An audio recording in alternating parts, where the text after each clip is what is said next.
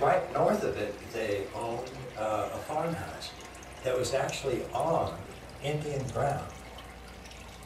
And they, it was called Paha, which was, I believe, uh, Pawnee.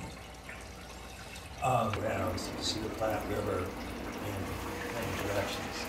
Um, I spent a lot of time out there hiking and meditating and um, just sort of absorbing it.